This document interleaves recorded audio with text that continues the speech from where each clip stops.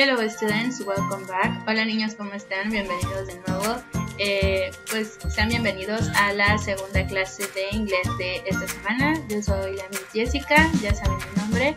Y esta clase la vamos a aprovechar para eh, darle otro vistazo al temario e ir repasando cada una de eh, pues las cosas que me van a venir en el examen. Entonces, ustedes pueden ir practicando en casa la pronunciación y pues igual pueden revisar apuntes, pueden revisar el libro cada vez que gusten para que ustedes se encuentren preparados para el examen de la siguiente semana. Entonces, eh, nos vamos a ir conforme al orden del temario. Eh, recuerden que es un speaking exam, es un examen en el cual ustedes tienen que hablar y lo primero que vamos a hacer es eh, la dinámica de la presentación.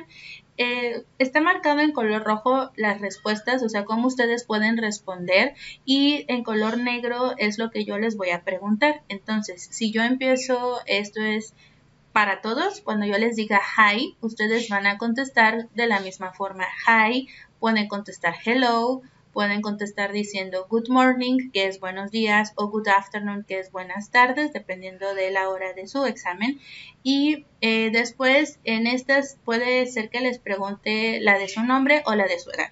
Entonces, si yo les pregunto por su nombre, van a escuchar lo siguiente, What's your name? Y ustedes van a responder My name is y luego me dirán su nombre. Recuerden que el nombre en inglés no cambia.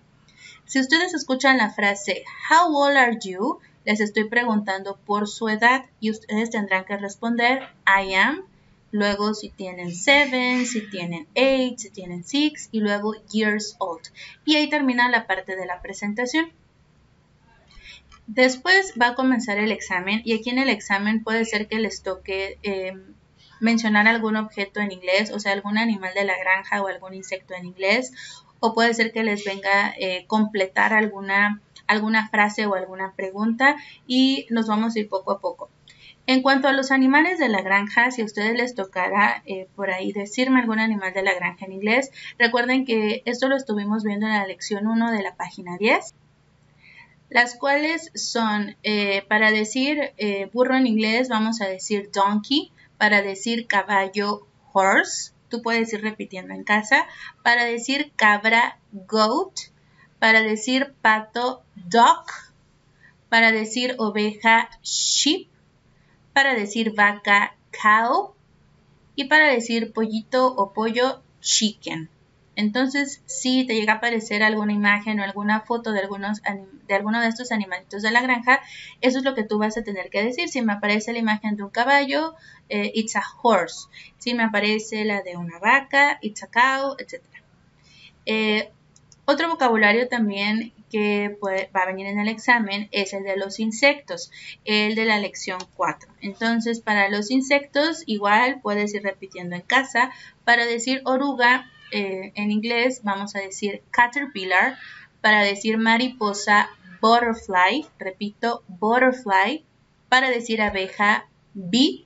Para decir mosquito, recuerda que solo se cambia un poco la pronunciación, mosquito para decir Catarina o Mariquita Ladybug y para decir hormiga Ant. Entonces, esto es en cuanto a vocabulario. En cuanto a gramática, igual estuvimos viendo eh, dos formas para preguntar eh, qué es esto, eh, qué es aquello, y la otra es en plural para decir qué son estos y qué son aquellos. Entonces, em, esto es lo que estuvimos viendo em. Entonces, eh, recuerda que si llegara a aparecer a lo mejor que ordenes alguna pregunta en singular o que completes, eh, ya sea con this o con that, em, entonces con this o con that, em, entonces te vas a dejar guiar mucho de, más que de, de la imagen, porque Em, eso a lo mejor ya venga, sino con completar si es esto o si es aquello. Y vas a fijarte mucho si está marcando la flechita, si está cerca o está lejos.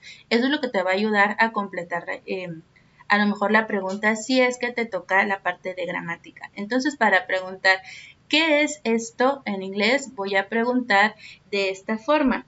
Eh, what is this? Así como si fuera de what is this? Y pues en este caso para responder, ah, es un pato, it's a dog.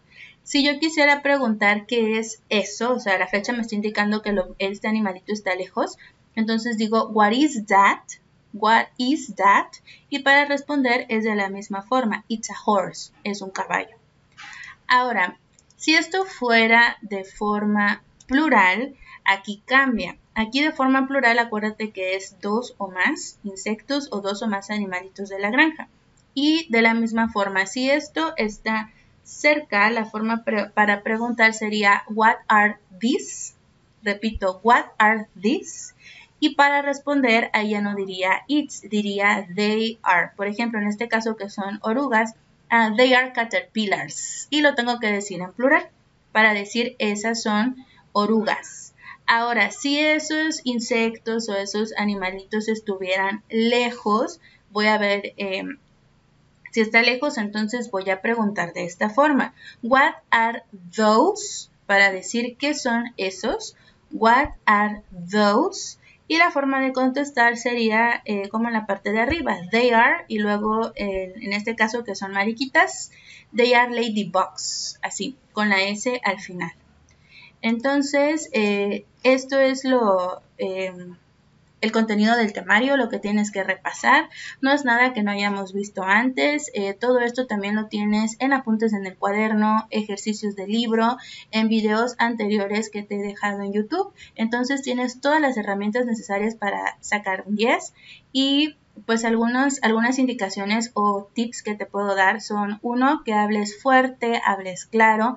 Al momento que se mencione tu nombre, en ese momento tienes que activar el micrófono. Em, te voy a hacer la pregunta, ya, este, ya sea de tu nombre, de tu edad, vamos a saludar y ya después en pantalla te va a aparecer cuál es em, la otra pregunta que tienes que contestar respecto a vocabulario o a gramática.